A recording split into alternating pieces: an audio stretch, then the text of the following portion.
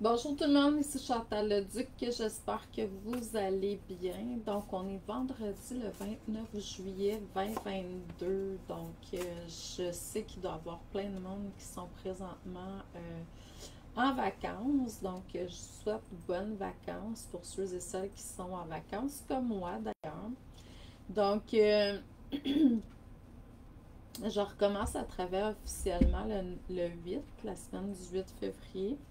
Il se peut que la semaine prochaine, par contre, que je vous lance encore une ou deux journées de consultation. Fait que soyez à l'affût pour ceux et celles qui veulent avoir une consultation avec moi parce que dans mon horaire quotidienne, ben c'est ça, je peux pas. J'ai comme beaucoup de. J'ai pas très peu. J'ai pas beaucoup de place à combler. Donc, euh, si c'est quelque chose qui vous intéresse, faites-moi signe. Euh, il se peut que mardi ou mercredi prochain ou peut-être jeudi là, dans ces eaux-là, je vais peut-être faire une journée de consultation, mais je vais voir. Euh, là, ce qui est vraiment important, c'est si le cœur vous dit de, faire une formation de tarot. Euh, ma prochaine formation de groupe commence euh, le 9 à août prochain. C'est à 20h le soir. Vous n'êtes pas obligé d'être en direct. Euh, parce que tout est enregistré. En fait, on est sur un groupe privé Facebook. Puis ce groupe privé-là va faire en sorte que toutes les vidéos vont être là. Parce que c'est des directs que je vais faire. Puis je vais faire aussi un format audio. J'enregistre pendant avec euh, Instant Téléseminar. Fait que après ça, vous allez avoir euh, format audio, vidéo. Vous avez aussi des PDF parce qu'à toutes les semaines, je vous donne un document il faut faire les devoirs, puis on se rencontre la semaine suivante. L'autre chose aussi, c'est que si vous désirez faire une formation de tarot en individuel avec moi, c'est encore le temps. Parce que j'ai des personnes qui vont terminer bientôt. Puis, euh, je vais jusqu'à 12 places semaine. Donc, c'est quand même assez limité. Euh, puis, à la fin du mois d'août, début septembre, les gens commencent vraiment beaucoup à s'inscrire à ce moment-là. Fait que si vous voulez devancer, avoir votre place, c'est le moment. Euh, c'est ça. Si vous désirez avoir des consultations, euh, c'est sûr qu'à partir du 9 à août, je vais être plus là du lundi au jeudi. Le vendredi, je prends cette journée-là pour faire autre chose. Samedi, dimanche aussi. Donc, c'est juste du lundi au jeudi normalement. Puis c'est de 11h le matin. je peux aller jusqu'à dans la soirée. Mais en même temps, mes soirées sont pas mal comblées parce que j'enseigne les mardis soirs le tarot, puis les mercredis, j'enseigne un masterclass. Ça, c'est une autre chose aussi, c'est que j'ai un autre groupe de masterclass, une nouvelle cohorte qui va commencer en mi-septembre. Je vais faire ça euh, des mardis et jeudis matin, de 9 à 10 et demi. Le mardi, en fait, ça va être la théorie. Ensuite, euh, vous faites vos trucs, puis on se revoit les jeudis pour questions-réponses. C'est sur Zoom. Euh, donc, euh, puis vraiment, c'est une belle, belle, belle formation si vous désirez vous propulser à un autre niveau, être vu. Parce que moi, ça fait 14 ans que je suis entrepreneur spirituel, puis j'ai payé de mes poches, de mon énergie, de mon temps, certaines choses que je vais vous transmettre, ça va être plus facile pour vous euh, pour vous lancer dans votre business. Là. Donc, euh, si c'est quelque chose qui vous interpelle, vous êtes thérapeute, coach ou autre travailleur de lumière, artisan de lumière aussi, euh, puis vous désirez être vu, c'est vraiment une formation qui est créée avec l'énergie du groupe parce que j'ai comme créé ma première cohorte juste avec les besoins de ceux, les filles qui étaient là. Puis là, euh, ça va être la même chose avec votre groupe qui va commencer à la mi-septembre. Donc, c'est vraiment avec les besoins des gens qui sont là. C'est sûr qu'on est des êtres humains quand on est au niveau de la business. Ben, souvent, on va avoir la peur du succès ou euh, relation qui est peut-être un petit peu difficile avec l'argent, des choses comme ça. Fait que c'est sûr que ces thèmes-là, on va quand même aller les travailler mais euh, ça va être fait à votre couleur, à votre essence. Donc, c'est quelque chose qui vous parle, gênez-vous pas. Euh, c'est pas dispendieux comme prix, je vous le dis, là, parce que moi, ça m'a coûté pas mal plus cher que ça à prendre ce que je vais vous transmettre. Quand je dis apprendre, ben, c'est avec mon expérience. Puis je suis toujours en train d'évoluer là-dedans. Fait que ça aussi, c'est quelque chose qui est hot parce que moi, je vais apprendre, puis je vais transmettre aussi en même temps d'autres choses que je n'ai pas transmis dans l'autre cohorte avant. Donc, euh, si c'est quelque chose qui vous interpelle, allez jeter un coup d'œil sur mon site. Euh, si vous avez des questions, gênez-vous pas, peu importe la formation. Surtout si c'est en individuel pour le tarot avec moi, puis la masterclass. Euh, je veux qu'on se rencontre absolument parce que je ne commencerai pas sans vous avoir rencontré parce que je veux voir si on fait un match énergétique, vous et moi. Euh, je travaille de plus en plus à attirer une clientèle âme sœur, je dirais, vers moi. Donc, c'est pas une question d'argent, c'est une question de service, de mission de vie. Je vous aide à accomplir, à exprimer votre mission de vie, puis moi aussi, dans, en faisant ça, j'accomplis ma mission de vie. Fait que c'est bon pour vous, c'est bon pour moi, c'est bon pour tous. Donc, euh, si c'est quelque chose qui vous interpelle, faites-moi signe. Là, ça se peut que vous entendiez mon chat qui vient de se réveiller. Là, je fais une lecture d'âme aujourd'hui générale avec les cartes de Light Sears. Oui, qu'est-ce qui se passe, Brille? Oh, Colin de bien, je te dis, moi, tu as des choses à dire au monde entier? Donc, euh, c'est ça. Je vais vous faire une lecture d'âme générale pour le bien du plus grand nombre. Euh, les cartes sont vraiment euh, pas mal différentes de ce qu'on a pigé dernièrement avec ces cartes-là, mais sont tellement belles. OK. Fait que là, c'est sûr qu'on vous demande depuis un certain temps de. Bon, il y a de la dualité. Peut-être dualité au niveau de comment attirer au niveau monétaire plus avec vos dons spirituels, avec vos, euh, vos capacités psychique, euh, vos habiletés psychiques avec euh, les lois d'attraction, les lois universelles, tout ça. Donc là, il y, a, ça. C'est comme si on est en train, pour beaucoup, euh, c'est pas tous, mais beaucoup d'entre vous, c'est comme si on est en train de faire un shift, je dirais, au niveau magnétique, pouvoir créateur et autres. Donc ça, c'est quelque chose qui est là. Euh, ça peut amener dans des formes de dualité parce que le mental il est habitué, si on est habitué de, vivre d'une certaine puis penser puis euh, d'une certaine façon. Puis là, ben, il, y a, comme quelque chose en énergie qui demande à, faire un shift. Là. Fait que ça, c'est ça qui est là. C'est beaucoup au niveau monétaire, au niveau de la matière, au niveau du corps, même de l'alimentation. Donc, euh, c'est ça. L'autre chose aussi, c'est qu'on vous demande de peut-être prendre le temps parce que là, vous recevez de l'inspiration. Euh, l'énergie travaille fort aussi. Euh, je vois vraiment que là, c'est beaucoup au niveau émotionnel. Amour, amour de soi, respecter qu'est-ce qu'on reçoit aussi comme inspiration. Euh, il y a des choses qui passent une fois de temps en temps, c'est pas normal, mais en même temps, si vous avez le goût, ben, allez là-dedans. Euh, je vois beaucoup, il y a l'as, l'as de. Fait que c'est comme si on va vers une maîtrise au niveau de l'amour et des sentiments. Euh, un potentiel peut-être plus infini. Puis pour certains, il y a peut-être un début de quelque chose au niveau amour. Ça ne veut pas nécessairement dire euh, juste euh, relation amoureuse. Ça peut être comme expérimenter une forme d'amour intérieur différente, plus inconditionnel, plus universel, plus euh, divin. Donc, puis là, il y a un autre as qui est là, mais là, ça, c'est l'as de bâton. L'as de, de bâton. Euh, là, c'est comme s'il y avait une ouverture au niveau, euh, je dirais, du feu, au niveau du désir, au niveau du sacré. Euh, puis là, tu sais, je nomme plein de noms parce que je veux que ça, ça réponde à, plusieurs d'entre vous.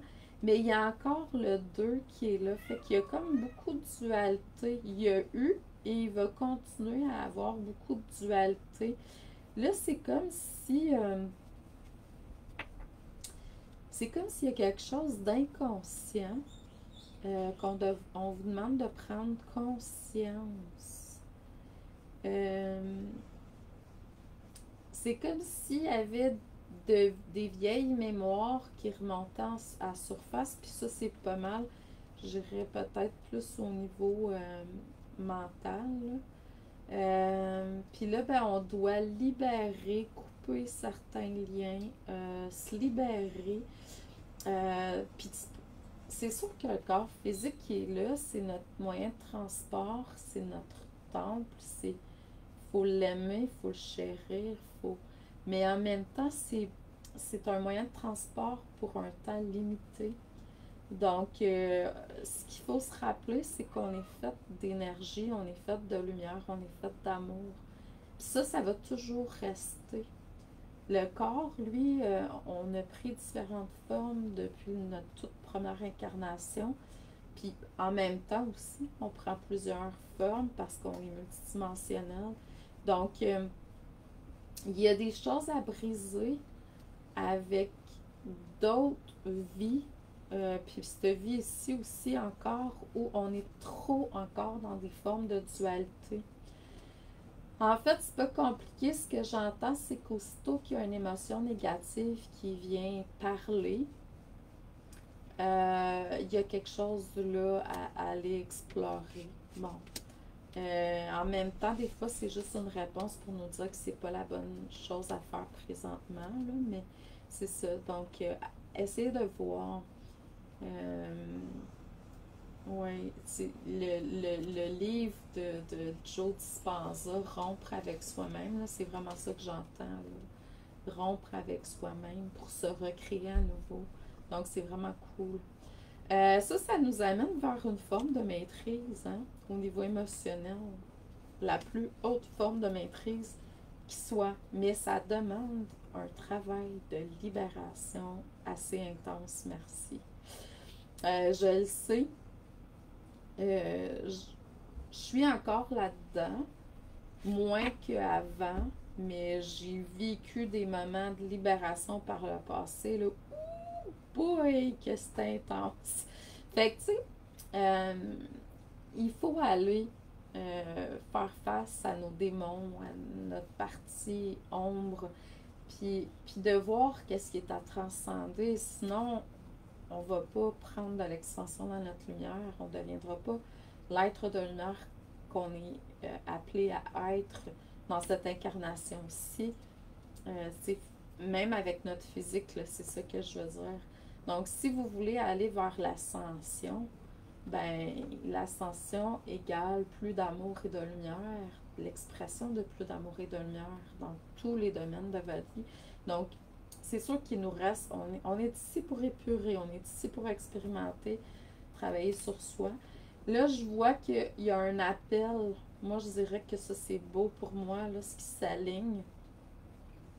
À, aller plus à l'intérieur de vous, au niveau de votre spiritualité, de, votre, de la méditation, de la prière, euh, de la connexion avec euh, l'au-delà. Puis c'est là où sont les cartes majeures en plus. Le reste, c'est comme mineur. Bon, on s'entend-tu? Vivre une libération? Euh, je sais qu'il y en a qui le font. J'ai plusieurs étudiantes qui sont là-dedans. Mais quand on vit une libération, c'est quand même, ça peut paraître majeur là, sur le coup. Hein? je ne je, viendrai pas dénier ça. Là. Je ne viendrai pas euh, minimiser ça. Mais euh, ce que je dis, c'est que ça vous amène vers quelque chose de très, très, très, très, très wow. Là. Fait continuez à faire le travail. Euh, épurer, nettoyer, libérer. Ce que vous sentez, hein? Moi, je, je laisse venir, je l'entends, je sais qu'est-ce qui va se travailler. Euh, c'est sûr que des fois, le mental, l'ego veut aller dans un sens. De toute façon, si c'est pas aligné, ça va se défendre. Fait que ce que je vous dis, c'est vraiment de vous reconnecter avec votre euh, intérieur. Euh, ça va réactiver la lumière, le feu en vous. Votre aura va être beaucoup plus lumineuse. Puis ça, c'est grâce aux libérations. Puis euh, là, il y a comme un chemin vers des enseignements. nouveaux ou pas, dépendamment. Certains, c'est juste. Moi, j'enseigne le tarot c'est pas c'est quelque chose qui est très vieux. Euh, c'est des vieux enseignements, mais c'est quelque chose qui fit parfaitement avec moi. Il y a comme une chimie qui se fait euh, quand je me joins avec un groupe ou une personne à la fois. C'est sûr qu'une personne à la fois, ça fait pas le même travail, je vous le dis. Là. Mais peu importe, groupe ou une, personne à la fois, il y, a, y, a, une magie qui s'opère, il y a quelque chose, tu sais, ça, ça s'en va dans, dans la purification, dans le nettoyage. Puis ensuite, ce que je vois, c'est qu'à travers ces enseignements-là, c'est sûr que là, vous allez accéder à d'autres niveaux vibratoires d'énergie, mais ça vous aligne avec votre étoile. Puis moi, là, l'alignement avec l'étoile, en fait, c'est ça qu'on est venu faire sur Terre. Moi, là, la carte de l'étoile, en fait, comment je la vois? c'est que je vois que quand la personne est, est prête, elle est rendue là, dans, elle est tellement belle, la carte, c'est fou comment elle est belle. Euh, L'artiste qui a fait ça, il était connecté, je sais pas si c'est un gars ou une j'ai pas lu. Mais c'est ce qui m'a fait vibrer quand j'ai vu ce jeu-là. C'est les dessins qui sont là pour toutes les cartes. Euh, tu vas piger une majeure ou une mineure, puis garde l'as, ici l'as de que je montrais tantôt. C'est vraiment de toute beauté. Bref, quand on est rendu avec l'étoile, c'est qu'il y a un alignement qui se fait. Euh, je le vois pas faire tout le temps dans mes, dans étudiantes au niveau du tarot. Il y en a qui vont, ils vont rentrer dedans, il y en a d'autres que non, ça va être plus tard, puis c'est OK. faut pas forcer les choses. Mais en énergie, des fois, ça m'est arrivé d'aligner l'étoile de la personne avec son être. En fait, pour moi, l'étoile, ce qu'elle représente, c'est que c'est pour ça, là, la lecture, c'est ça, c'est qu'il y a plein, plein, plein de choses qui vont se travailler. C'est, quand même pas euh, doux et facile tout le temps. C'est peut-être quelque chose du passé aussi, c'est pas nécessairement tout ça dans le moment présent pour tout le monde. C'est que ça, ça t'aligne avec ton étoile. Puis l'étoile, moi, je la vois comme l'étoile de Bethléem. En fait, l'étoile de Bethléem, ce qu'elle dit, c'est que quand elle elle a scintillé dans le ciel. Les rois mages ont suivi l'étoile comme guide pour se rendre. C'est un guide, c'est le guide intérieur, c'est un guide, l'étoile, pour se rendre au Christ qui est le Maître. Donc, quand votre étoile est prête, quand vous êtes aligné avec votre étoile, elle brille dans le ciel. En fait, je le vois pas comme une étoile nécessairement, je le vois comme un chakra qui pop up, tu sais, comme glow in the dark. Là. Puis là, ben, les guides des autres voient que ce scintillement-là, cette luminosité-là qui est là, puis que là, vous êtes aligné, vous êtes un maître pour enseigner des choses pour les autres. Donc, euh, puis tu sais, ça, cette étoile-là va prendre de l'ampleur, de l'expansion, puis tout ça, là. Mais, euh, puis là, ben, on va attirer de plus en plus, ou on va attirer différemment, c'est ça. Donc, mais en même temps, ce que je dis, c'est qu'il y a un alignement avec votre essence qui se fait rendu à cette carte-là. Euh, c'est vraiment une très, très belle carte. Moi, quand j'ai suivi mon cours de tarot, personnellement, rendu à cette carte-là dans mes rêves la nuit, j'ai vu vraiment ma mission de vie. Euh, j'ai vu les jaquettes de mes livres, Chantou l'alchimiste de fée, euh, j'ai tout vu. J'ai vu que j'écrivais, donc c'est vraiment écrire, c'est vraiment euh, ma mission de vie. Je le fais régulièrement parce que je suis toujours en train d'écrire, pas nécessairement juste des livres, des formations. Euh. donc, euh, c'est ça. Puis, c'est un alignement. Puis là, à ce moment-là, -là, c'est vraiment ça. Puis, je l'avais vu dans un rêve plusieurs années avant ça. Peut-être dans ces temps-là aussi. Je me souviens pas parce que ça fait tellement longtemps. Ça fait comme 14 ans que je suis je travaille à mon compte, donc euh, puis ça fait euh, autant de temps que même plus que j'analyse mes rêves. Donc, euh, j'avais vu à travers un rêve, à un moment donné, j'étais en Floride dans un condo, puis j'avais rêvé cette nuit-là qu'on montrait que les guides des personnes, en fait, soufflaient l'information à, la personne pour qu'elle aille vers telle ou telle personne. Fait qu'à ce moment-là, ce que j'ai fait, c'est que je me suis ouverte à accueillir euh, les personnes qui étaient prêtes à recevoir mes services. donc, euh, c'est comme ça. Mais c'est ce que je vois. Puis je vois que l'étoile, c'est ce qu'elle fait en fait. C'est qu'elle vous aligne avec votre essence que vous êtes venu exprimer sur Terre. Moi, c'est pour ça, l'énergie christique, c'est pas, je le vois pas comme on, on le figure normalement. Je le vois comme une énergie qui, qui est alignée avec ce qu'elle était venue faire sur Terre. Donc, elle est venue exprimer vraiment euh, ce qu'elle était venue faire sur Terre. Donc, euh, c'est ça. Je vous envoie beaucoup d'amour et de lumière. Je vous souhaite une excellente journée. Euh, bonjour Nathalie. Bonjour Flora. Donc, euh, j'espère que vous allez bien. Euh, bonjour. Hey, il y en a plus. Bonjour Isabelle. bonjour Viviane. Bonjour Lynn. J'espère que vous allez bien tout le monde. Salut Nathalie. euh... œil vif, Caro. Donc, j'espère que vous allez bien tout le monde. Oui. Ben, c'est ça que je dis. L'étoile de l'âme, il y a le poids, il y a le point de l'âme, il y a la porte de l'âme, il y a l'étoile de l'âme. Oui. Moi, j'ai pas mal un gros sentiment que euh, ça serait ça, mais en même temps, tu sais, moi, je mets pas des noms sur ce que je vois nécessairement. Je vois que c'est un chakra. Il est peut-être pas tout de suite au-dessus de la tête, fait que c'est pas le point de l'âme. Fait que moi, je vois que c'est peut-être plus haut énergétiquement, puis peut-être encore plus haut que l'étoile de l'âme, mais en tout cas, bref. Il y a un chakra qui s'active, puis qui fait en sorte que tu deviens visible pour les guides des autres que là, il y a comme un message énergétique qui se passe comme si tu étais prêt à exprimer telle chose. Puis moi, je pense que il y a une luminosité de plus en plus importante qui va avec le fait que toi, en fait, ta lumière est de plus en plus, euh, prend de plus en plus de place dans, ton, dans ta vie. Donc, euh, c'est ça.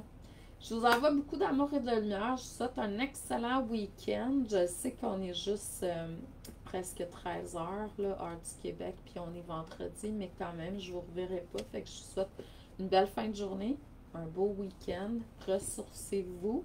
Euh, beaucoup d'amour, de joie, de lumière. Faites ce que vous ressentez qui est juste avec votre âme, votre essence, peu importe. Enjoy. Donc, euh, l'important, là, c'est que vous soyez dans la joie. Donc, euh, je vous envoie beaucoup d'amour et de lumière, puis je vous dis merci. Puis, bonne semaine à tous. Bye bye. Merci. Amour et lumière.